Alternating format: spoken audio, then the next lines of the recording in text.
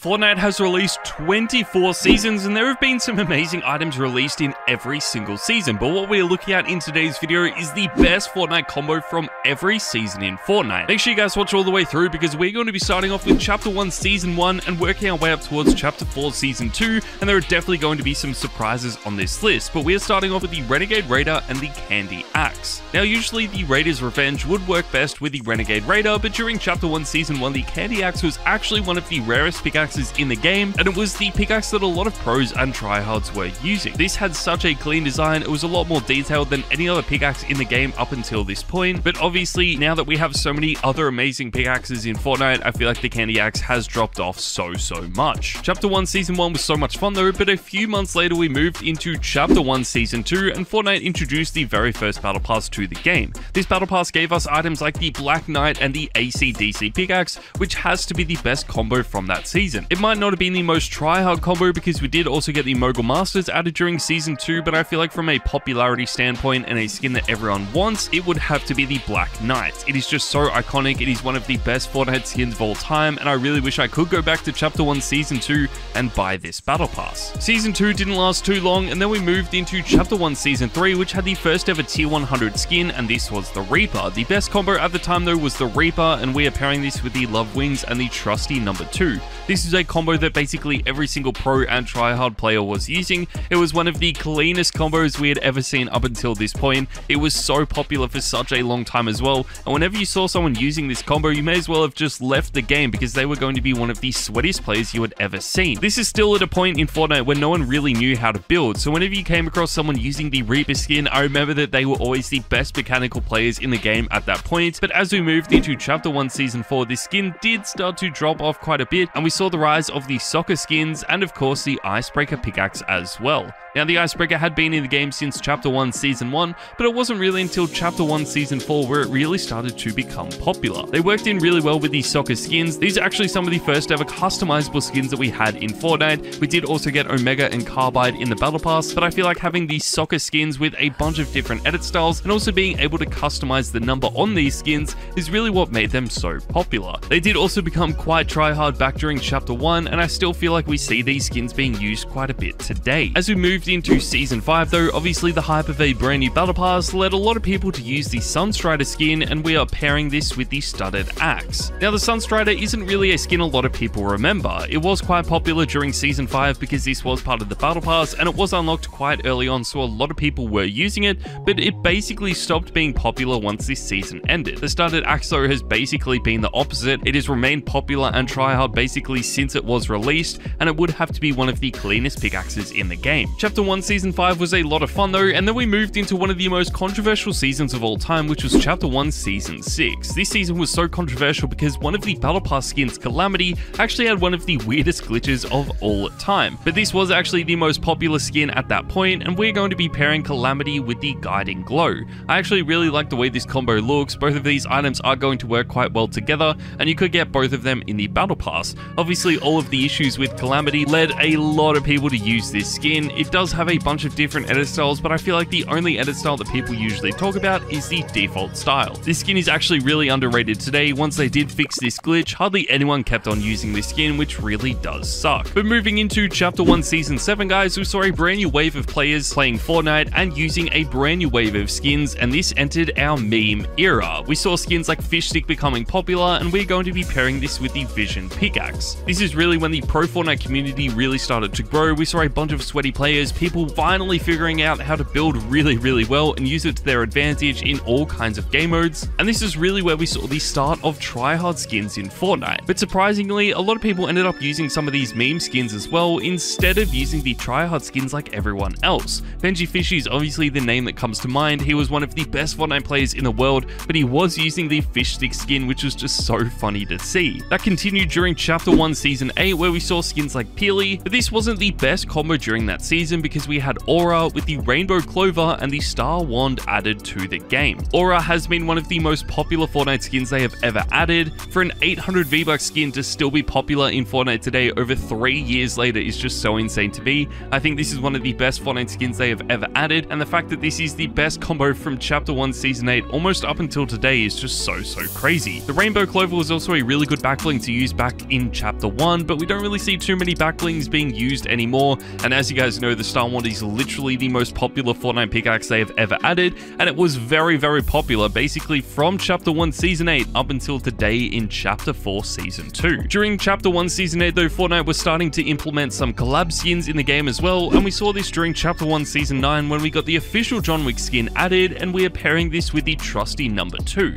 Now even the trusty number 2 had been in the game for a while, when we finally got an official John Wick skin, a lot of people did end up pairing this OG pickaxe with it because it reminded them of the original Reaper skin that we had during Chapter 1 Season 3. I love the way this combo looks, I think it was so so clean, and it was actually quite popular among the pro community as well, which is really cool to see. We don't really see too many pros using male skins anymore, but this trend actually continued during Chapter 1 Season 10 or Season X depending on how you say it, because the best combo was the Psycho Bandit with the Star Wand. This has been one of the best male skins Fortnite has ever added. It is extremely rare as well and will probably never return to Fortnite, but this was a collab skin back during Season X, which was actually one of the coolest collabs we had had in the game up until that point. Not only did they add a skin to the game, but we also had a location transform to look like it was from Pandora, which is a location in the Borderlands games. That was so, so cool. I don't remember the last time we saw so many people excited for a collab in Fortnite, but after a few weeks of Season X, we moved into the biggest update Fortnite had released up until that point, which was Chapter 2. During Season 1, I feel like the Battle Pass skins weren't as strong as a lot of people were expecting, but we did get the Chaos Agent and the Harley Hitter added to the game this season. This is obviously when male skins were still extremely popular. The Chaos Agent was one of the best male skins of all time. A bunch of people were using this, and I feel like it has to be one of the best skins Fortnite has ever added. It was originally a Fortnitemares skin as well, but after seeing how popular this skin actually was, Fortnite did decide to add this to the item shop all year round, so it actually does feature in the item shop quite often. The Harley Hitter is one of the best pickaxes they have ever added. You can pick this up for 800 V-Bucks, but because it is a crossover item, we just don't see it in the store that often. This pickaxe did stay popular during Chapter 2 Season 2 though, but the best skin has to be Midas, and of course, we're going to be pairing this with the Harley Hitter. Midas was the tier 100 Battle Pass skin during this season. It was by far my favorite Fortnite season I think they have ever added, and I would basically give up anything to go back and play Chapter 2 Season 2. It was so much fun, the game felt really balanced. I felt like the tryhard players still weren't super, super sweaty, so regardless of if you got in a really tryhard lobby or a bot lobby, they sort of felt similar, and that was when Fortnite was really at its peak. Midas has stayed popular for such a long time as well, but it probably wasn't the best combo during Chapter 2 Season 3, and that is because we had the Surf Witch with the Star Wand during this season. As soon as the Surf Witch was added to the game, a bunch of pros immediately bought this skin and started using it in every single tournament they could. It is still known in Fortnite today as a tryhard skin, which basically means if you are a noob, you probably won't be using this skin.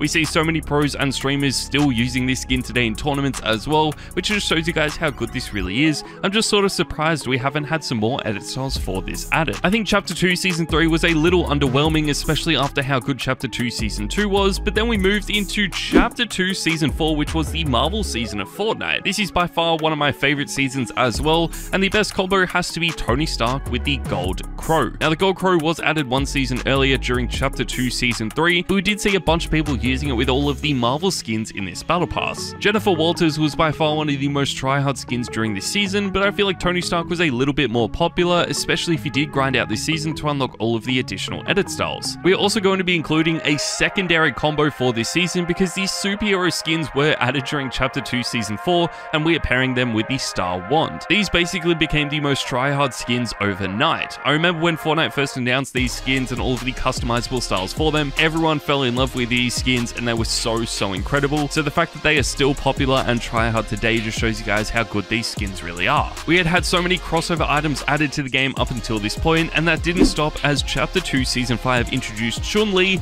and the Leviathan Axe to the game. Now, a lot of people were really torn about Chapter 2 Season 5. People thought that they did end up adding too many crossover skins to the game, but personally, I thought it was really cool. We did get some skins like Mandalorian as well, which could have easily been the best skin that season, but honestly, I think Chun-Li with the Leviathan Axe was just a little bit better. I love the way this combo looks together, but it has dropped off so much up until the point where we hardly see anyone using it today. These crossover skins have definitely been some of the best that Fortnite has ever added because during Chapter 2 Season 6 we got Lara Croft in the Battle Pass and we are going to be pairing this with Catwoman's Grappling Claw, which again is another crossover item. Catwoman's Grappling Claw wasn't actually too popular during Chapter 2 Season 6, it has become a lot more popular since that season ended, but I still feel like it is worth pairing with the Lara Croft because these items just work so well together. The default style of Lara Croft would still have to be one of the most popular skins in Fortnite today. It is still extremely tryhard as well, so if you guys do own this skin and you want to stand out, I would recommend using some of the other styles for Lara Croft. After a few weeks in Season 6 though, we moved into Chapter 2 Season 7, and this introduced Beach Jules to the game, and we're going to be pairing this with the Star Wand. We didn't really get too many amazing pickaxes added during this season. A lot of people were still using the Star Wand because it was the most try-hard pickaxe in the game up until this point. The Star Wand also matched the Beach Jules skin perfectly. Obviously, since then, they have altered the Beach Jules skin slightly, so we hardly see anyone using it today,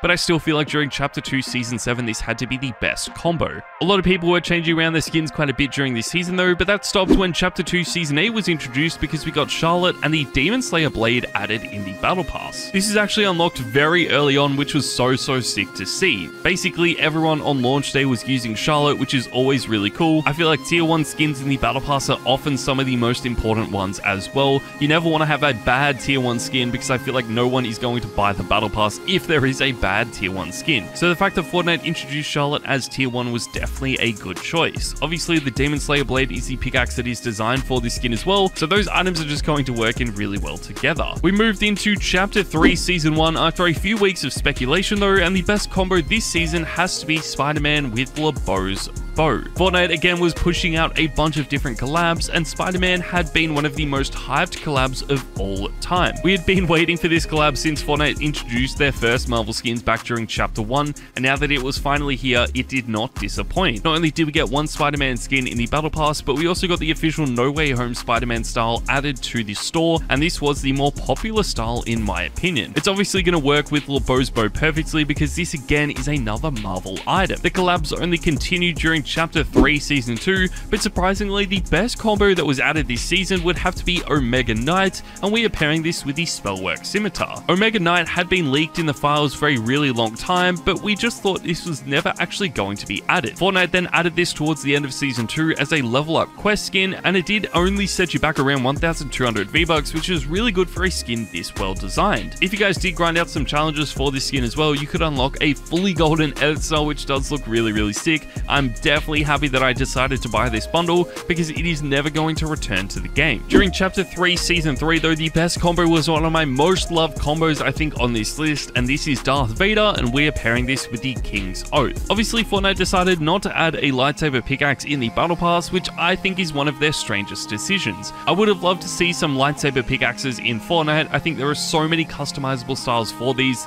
and they could have made it honestly the best pickaxe of all time, but instead, we ended up getting the Sigil of the Empire. The King's Oath actually matches this skin really well though, I think they do work quite well together, but obviously nothing is going to match it as well as a lightsaber would. it? Darth Vader didn't stay popular for too long though, because as we moved into Chapter 3 Season 4, we got Spider-Gwen in the Battle Pass, and then the Scully Scepter was also added during this season, which instantly became a popular pickaxe. It is so well designed, it is a skull version of the Star Wand, and obviously you guys know how popular the Star Wand has been, so by adding a secondary style of this, it just became so so popular. It is also cheaper coming in at only 500 V-Bucks, it's going to fit in really well with every single style of Spider-Gwen as well, which I think is my favorite part about it. Spider-Gwen didn't stay popular in Fortnite for too long though, because only a few weeks later we moved into Chapter 4 Season 1. We got so many amazing skins in this Battle Pass, but I feel like the best combo has to be the Ageless with the Vault Guardian. Now if you are a try-hard player, this might end up being something like Celine or even Halsey, but honestly I think the Ageless is one of the cleanest skins. It had been in the storyline for such a long time, it had been rumored coming to Fortnite for a really long time as well, but now that it was finally here, it definitely did not disappoint. It definitely has one of the cleanest built-in emotes we have ever seen, all of the edit styles for this skin as well look really really incredible, and I'm so glad I grinded out Chapter 4 Season 1 to unlock the edit styles for this skin. Unfortunately though, it didn't stay popular for too long because we then moved into Chapter 4 Season 2, and the best combo added so far would have to be Renzo The Destroyer, and Leon's Combat Knife. Now, obviously, this season is only a few weeks old, so we are definitely going to be getting some other skins added over the next few days that I'm sure might be even better than Renzo the Destroyer. But Renzo the Destroyer is a tier 1 skin. It is one of the coolest tier 1 skins on this list and definitely one of my favorite skins as well. It is one of the more detailed skins, so I don't think too many pros or streamers are going to be using this, but if you are a casual Fortnite player like me, this is a combo you guys are going to absolutely love. But there you guys go, that is my list for the best Fortnite combo of each season. Make sure to let me know in the comments down below what season was your favorite, and I'll see you guys next time. Peace.